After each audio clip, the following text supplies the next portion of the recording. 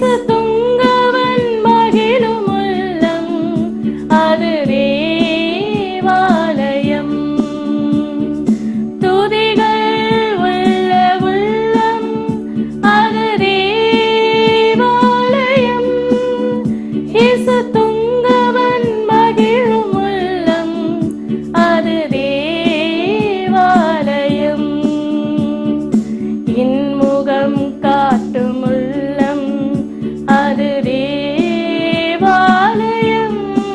கர்த்தருடைய பரிசுத்தமுள்ள நாமத்துக்கு தோத்திரம்.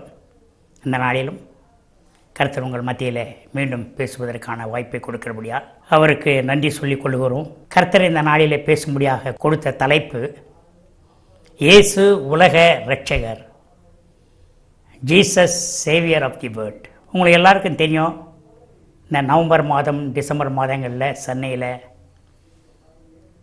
பெரு வெள்ளம் ஏற்பட்டது. நவம்பர் பதினேழுலேருந்து டிசம்பர் ரெண்டாம் தேதி வரையும் நல்ல மழை.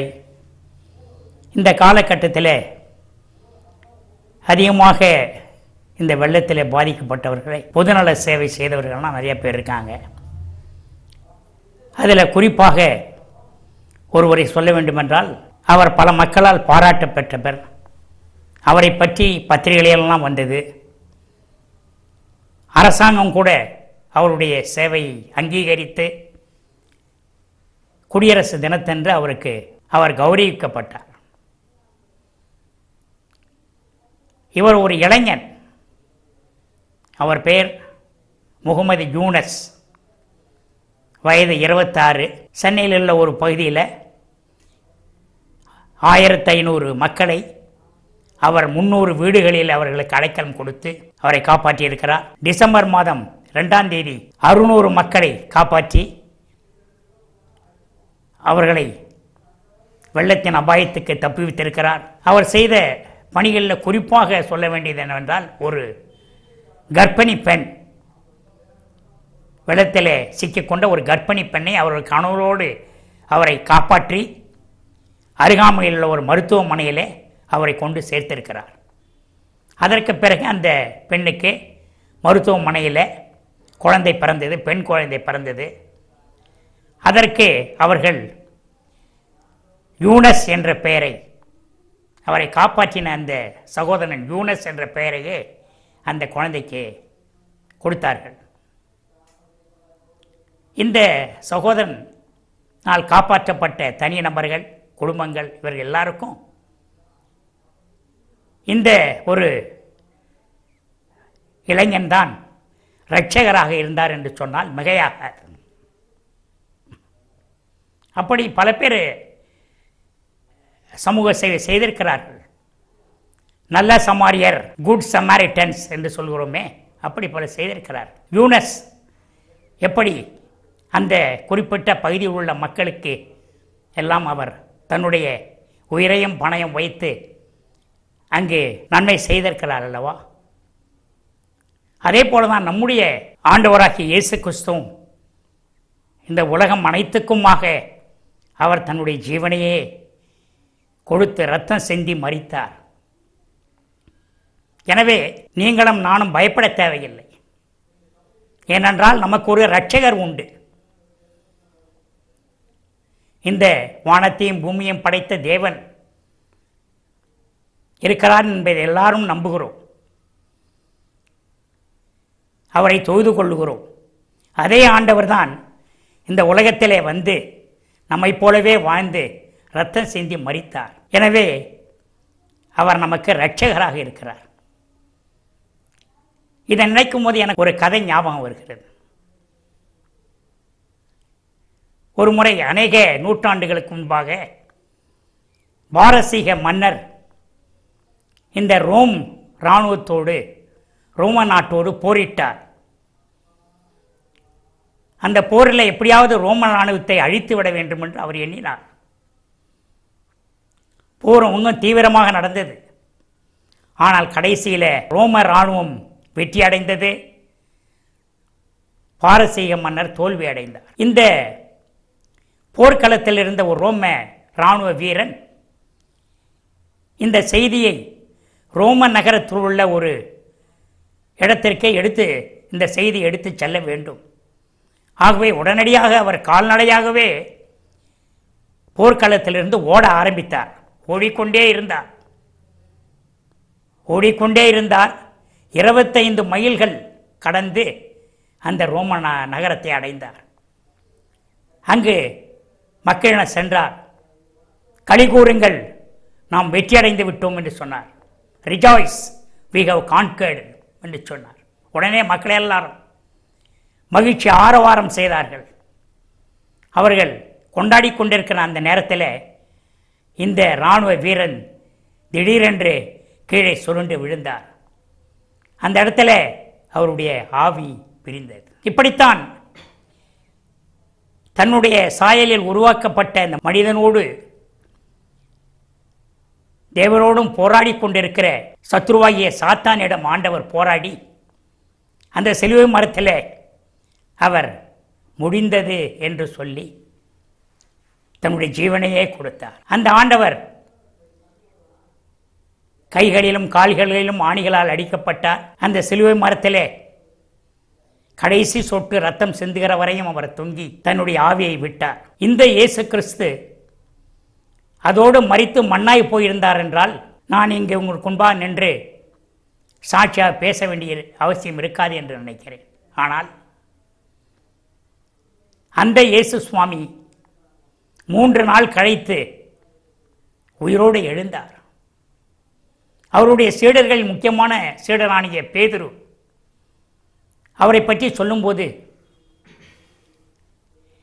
ஜீவாதிபதியை கொலை செய்தீர்கள். தேவன் அவரை மறித்தோழ்ந்து எழுப்பினார். இதற்கு நாங்கள் சாட்சிகளாக இருக்கிறோம் என்று சொன்னார். ஆகவே அவர் மறித்து உயிரோடு எழுந்தபடியினாலே அவருடைய இரத்தத்திலே வல்லமை இருக்கிறது. அவருடைய இரத்தத்தினால் நமக்கு ரட்சிப்பு இருக்கிறது. ஒன்னியோவான் ஒன்று ஏழு சொல்கிறது அவருடைய குமாரனாகிய இயேசு கிறிஸ்துடைய ரத்தம் சகல பாவங்களையும் நீக்கி நம்மை சுத்திகரிக்கிறது என்று. அவர் உங்களுடைய என்னுடைய பாவங்களை மாத்திரமல்ல சர்வலோகத்தின் பாவத்தையும் அவர் சுமந்திருக்கிறார். ஆகவே தான் அவரை உலக ரட்சகர் என்று சொல்லுவோம். ஒன்யோவான் ரெண்டு ரெண்டு சொல்லுகிறது நம்முடைய பாவங்களை நிவர்த்தி செய்கிற கிருபாதார பலி அவரே. நம்முடைய பாவங்களை மாத்திரமல்ல சர்வலோகத்தின் பாவங்களை நிவர்த்தி செய்கிற கிருபாதார பலி அவரே. என்று நமக்காக அவர் இவ்வாறு பாடுகளை சிலுவை மரத்திலே ஏற்றுக்கொண்டதை. இயேசு சுவாமி இந்த உலகத்தில் அவர் வந்து வருவதற்கு ரெண்டாயிரம் ஆண்டுகளுக்கு முன்பாக வந்தார். அதற்கு முன்னதாகவே சில நூறு ஆண்டுகளுக்கு முன்பாக ஏசாயா என்ற தீர்க்கன் அவரை பற்றி சொல்லியிருக்கிறார். நம்முடைய மீறுதல் நிமித்தம் அவர் காயப்பட்டு நம்முடைய அக்கிரம நிமித்தம் அவர் நொறுக்கப்பட்டார். நமக்கு சமாதானத்தை உண்டு பண்ண மாக்கினை அவர் மேல் வந்தது. அவருடைய தழும்புகளால் நாம் குணமாகும். முதலாவது அவருடைய ரத்தத்தினால் நமக்கு ரட்சிப்பு கிடைக்கிறது. பாவம் மன்னிப்பு கிடைக்கிறது. இதைத்தான் யோவான் ஸ்நானகன் ஏசுவாமி வர்றதுக்கு முன்னாக இருந்த யோவான் ஸ்நானகன் சொன்னார் அவரை பார்த்துட்டு அவர்கிட்ட ஞானஸ்நானம் எடுத்துக்கொள்ளத்துக்கு வரும்போது இதோ உலகத்தின் பாவத்தை சுமந்து தீர்க்கிற தேவாட்டுக்குட்டி என்றார் பார்த்தீங்களா உலகத்தின் பாவத்தை சுமந்து தீர்க்கிற ஆகவே அவர் உலக ரட்சகர். அதனால் நமக்கு ரட்சிப்பு கிடைக்கிறது. ரெண்டாவது அவருடைய தழும்புகளால் நம்ம குணமாகிறோம் என்று பார்த்தோம் இல்லை ஏசையா? அந்த வார்த்தையின்படி சரீரத்தில் நமக்கு சுகம் கிடைக்கிறது. மூன்றாவதாக சொல்லும்போது இந்த சஞ்சலம் நிறைந்த சமாதானம் இல்லாத இந்த உலகத்தில் ஆண்டவர் மறித்து உயிர்த்ததன் நிமித்தம் அவர் சமாதானத்தை நமக்கு கொடுக்கிற தேவனாக இருக்கிறார். யோவான் ஏதின சுவிசேஷம் சமாதானத்தை உங்களுக்கு வைத்து போகிறேன். என்னுடைய சமாதானத்தை அல்ல இந்த உலகம் கொடுக்கிற பிரகாரமாக நான் கொடுக்கிறதில்லை. உங்கள் இருதயம் கலங்காமலும் பயப்படாமலும் இருப்பதாக என்று சொல்லியிருக்கிறார். ரோமருக்கு எதின சுவிசேஷம் பதினாறாம் அதிகாரம் இருபதாம் வருஷம் சொல்லுகிறது சமாதானத்தின் தேவன் தானே சாத்தானை சீக்கிரமாய் கால்கள் கீழே நசிக்க போடுவார் என்று சொல்லி. ஆகவே நாம் பயப்பட தேவையில்லை. அருமையான கேட்டுக்கொண்டிருக்கிற அருமையான தேவனுடைய பிள்ளைகளே நமக்கு ஒரு ரட்சகர் உண்டு. இதுவரை நீங்கள் அவரை பற்றி கேள்விப்படாமல் இருக்கலாம். நீங்கள் இயேசு சுவாமியை ஒரு தெய்வமாக மதிக்கலாம். அதற்காக ஆண்டவருக்கு நன்றி சொல்லுகிறேன். அதே நேரத்தில் அவர் ஒரு ரட்சகர் எனக்காக இயேசு சுவாமி இந்த உலகத்தில் வந்தார். தன்னுடைய ரத்தத்தை சிந்தினார். உயிரை கொடுத்தார். உயிரோடு எழுந்து இன்றைக்கு வாழ்ந்து கொண்டிருக்கிறார். அவரை நான் என் சொந்த இரட்சகராக ஏற்றுக்கொள்கிறேன் என்று சொல்லி நீங்கள் ஏற்றுக்கொள்வீர்களானால் நிச்சயமாக உங்களை அனைத்து முத்தமிட்டு உங்களை ஏற்றுக்கொள்ள தயாராக இருக்கிறார். இப்போது கூட சில பேர் சொல்லுறீங்க ஆண்டவர் என்னையும் என்னுடைய பாவங்களையும் மன்னித்து அவர் என்னை இதுவரை நான் ரட்சகர் என்பதை நான் கேள்விப்படவில்லை. அந்த ரட்சகரை என்னை ஏற்றுக்கொள்வாரா என்று நினைக்கிறீங்க நிச்சயமாக. உங்களுக்காகத்தான் உங்களுக்காகவும் எனக்காகவும் நான் இயேசு வந்து இந்த உலகத்தில் பாடுகளை அனுபவித்து மறித்து அவர் சாத்தானை ஜெயித்தார். ஆகவே நீங்களும் நானும் அந்த இயேசுவின் நாமத்திலே இந்த உலகத்தை சாத்தானை ஜெயிக்க முடியும். அவரை ஏற்றுக்கொள்ளுங்கள். கர்த்தர் உங்களை ஆசீர்வதிப்பாராக. ஆண்டவரை நோக்கி ஜெபிக்கலாம். நல்ல ஆண்டவரே நீர் எங்களுக்கு வெறும் ஆண்டவராக மாத்திரமல்ல. எங்களை ரட்சிக்கும்படியாக இந்த உலகத்தில் நீர் வந்தீரே அப்பா. இயேசு சுவாமி எவ்வளவு பெரிய அன்பு. எங்களுக்காக நீர் ஏன் பாடுகளை ஏற்றுக்கொள்ள வேண்டும்? எங்களுக்காக நீர் ஏன் கைகளில் காணிகளில் ஆணிகள் அடிக்கப்பட வேண்டும்? எங்களுக்காக நீர் ஏன் சிலுவையை சுமக்க வேண்டும்? ஆண்டவரே அந்த அகோர மரணத்தை ஏற்க வேண்டும். இயேசு சுவாமி நீர் பரிசுத்தமுள்ள ஒரு இறை மகனாக இருந்தபடியினாலே தேவன் உம்மை மூன்றாவது நாள் உயிரோடு எழுப்பினார். ஆண்டவரே இயேசு சுவாமி நாங்கள் அதை விசுவாசிக்கிறோம்.